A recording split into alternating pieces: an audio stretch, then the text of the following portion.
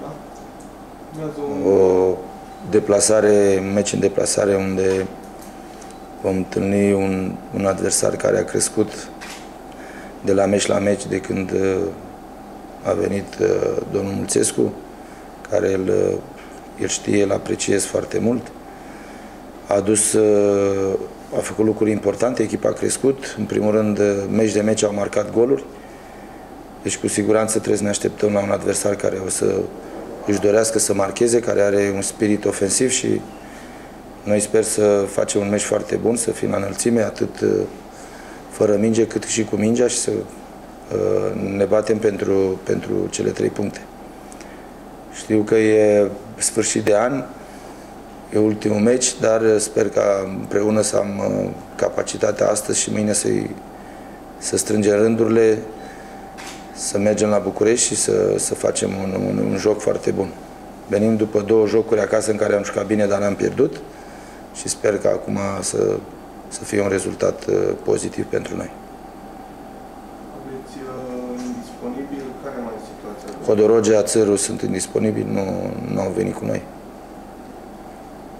Restul sunt, uh, toți sunt.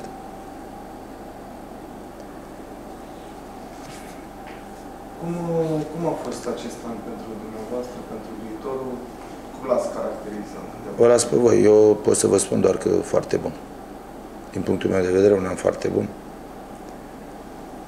Atât Academia cât și noi, mulțumiți de munca care am făcut-o și dar sper să mâine să terminăm bine și să avem sărbători fericite așa cum trebuie și la anul să avem același entuziasm, să muncim, să facem aceleași lucruri bune care le-am făcut în anul ăsta, să creștem. Că noi trebuie să creștem. În rest, foarte mulțumit de tot, tot ce a fost în acest an până în momentul de față. Totdeauna poate fi mai bine, dar creștem. Creștem până să devenim o echipă foarte bună. Un club foarte bun. Vă doriți ceva anume de la 2016 sau să luați pas cu pas? Sănătate. Eu cred eu că prima lucru la care te gândești ca, ca om, ca persoană.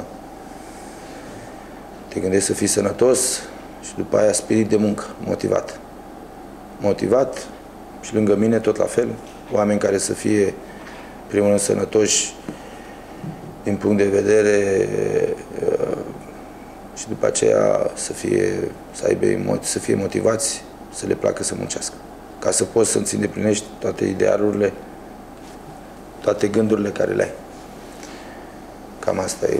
Doresc tuturor sănătate și da, mie cu cine vreau să muncesc de la anul să fie motivați foarte motivați. Anul acesta viitorul a ținut uh, steagul sus pentru Constanța în fotbal, uh, iar uh, Halep, Samara și Tecău, la fel și ei. Ați luat decizia de a-i premia. De ce ați, cum ați luat decizia asta? Și... E o recunoștință. E normal ca să recunoști anumite merite care au sportivii noștri. Sunt sportivi, sunt idoli și nu poți să treci cu vederea, deci nu ai cum. E un lucru normal de a le face toată munca lor o recunoștință din punctul nostru de, din punctul nostru de vedere al Academiei, al clubului care îl avem, vis-a-vis -vis de sportivii care au fost printre cei mai buni din România și ne-au reprezentat așa cum trebuie afară. Atât. Urmează anul viitor prezența României la Euro. Până, până avem acolo. Nu vedeți, acum se ceartă Neapuiu cu... sau ce jucători la lot. Deci, aceeași discuție. Lăsați-o. Vă vedem ce va fi. La Noi trebuie să ne preocupăm, eu personal, de noi, de club, de ce trebuie să facem noi. După aceea, normal, o să ne bucurăm de această participare la anul la europene. Toată țara o să ne bucurăm de, de acest uh, moment minunat. Dar până atunci mai avem, sunt, se vor întâmpla atâtea până atunci. Așa că conectare la, la, la ce avem noi de făcut prima oară. Și după aia vedem, poate o să ajungem să avem și noi un jucător pe acolo. Dacă da bine, dacă nu, asta e, înseamnă că trebuie să muncim mai mult. Să aibă mai, mai mulți jucători la națională pentru Euro? Nu știu. Nu știu, nu. Sunt întrebări care creează polemică și care nu-i bine. Lăsăm noi să jucăm, să ne facem treaba noastră ca e echipele noastre sau echipa noastră să joace bine și după aceea cine selecționează, el răspunde, el va decide. Eu asta știu foarte clar. Nu. În rest, nu. Bineînțeles, ca, ca manager acestei echipe, îmi doresc să facem bine noi, să jucăm bine. Și după aia, când joci bine, o să vină. Tot ce ce-ți dorești o să vină. Prima oară trebuie să dai, după aia o să vină. Acum, uh, Naționala României de Handbal a ajuns în finala cea mică, din păcate. Ce părere aveți despre performanța? Un exemplu. Un exemplu pentru celelalte discipline care fac sport colectiv, echipe de, de care se echipe și să lucrezi bine, să selectezi, să în timp poți să, bineînțeles, să faci un grup important care să ajungă să facă performanțe foarte mari, așa cum a fost aproape fetele, dar uh, probabil la ele, ele creează acel exemplu pozitiv, acel exemplu bun care pentru toți ceilalți, că se poate. Și atunci de aici trebuie să începem. Dacă ne organizăm bine, dacă îl finanțăm bine sportul, o să avem uh, într-o bună zi mai multe echipe colective, echipe puternice care se bat în Europa, așa cum aveam înainte gimnastică, handbal, băieți, fete, rugby, fotbal. Eram, aveam uh, volei, la polo, la toate, eram buni. Așa că dacă mi-aduc aminte, toate disciplinele stăteam bine. Colectiv și individual nu mai vorbesc. Că totdeauna am avut și o să avem. Pentru că aici e, e mai ușor. Individual sau la tenis sau Chiar și la tenis am avut o echipă bună, care a câștigat, nu? După cum vedeți lucrurile, am putea reveni acolo? Dacă îl finanțăm bine și ne organizăm bine, cum, bineînțeles, tot sportul e un fenomen social important și trebuie să găsești modul de finanțare și organizare foarte bună. Când te organizezi bine, o să ajungi în momentul în care o să selecteze ei singuri. O să iasă și o să, să facă performanțe după aceea. Pentru că numai la loturi naționale noi putem să ieșim în lume, să ne batem acum. Echipele de club e foarte greu, la orice disciplină. Bugetele noastre sunt cele mai mici sau printre cele mai mici din Europa sau din lume.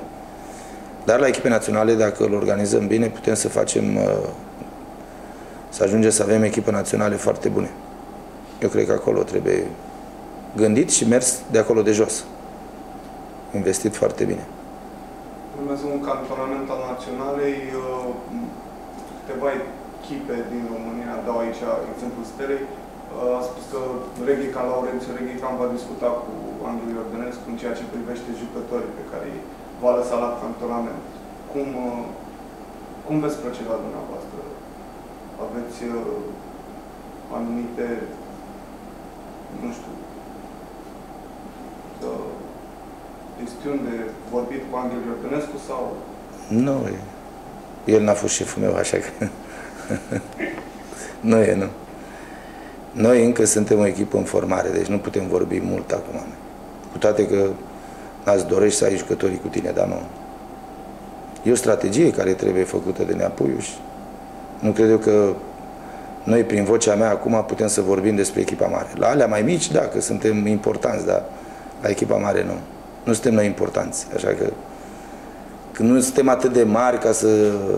Nu. Noi muncim, iar strategia să o facă Neapoiu și ne subordonăm. Deci are tot sprijinul Nu ne subordonăm, deci n-am, acolo nu. Chiar și la celelalte. Deci am înțeles că se găsească un consens, o... Da. Nu e nicio problemă. Nu, nu, nu suntem noi prea mici ca să vorbim despre echipa națională de convocări. Pentru noi e onoare când te convoacă un jucător de-a nostru merge acolo. E o onoare, mai ales la, la echipa mare.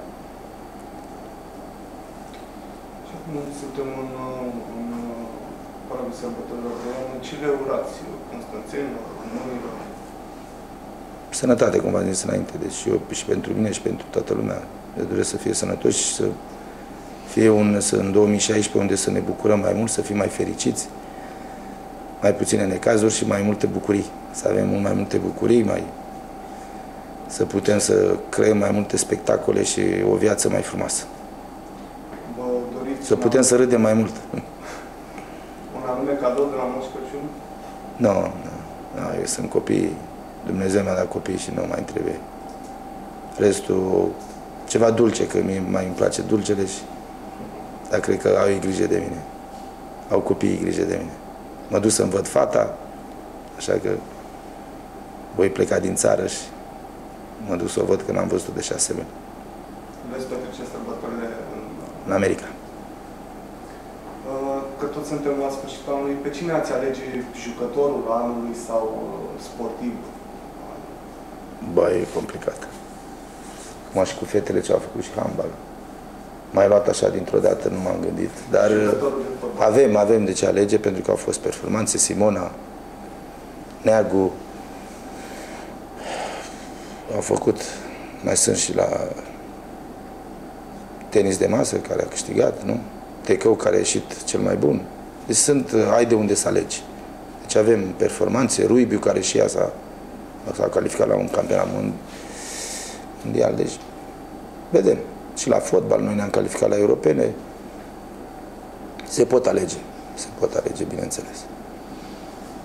Nu zic eu ca să nu ofensez sau să cineva să se simtă, nu. Avem, avem de unde alege. Ok. Zi, mă.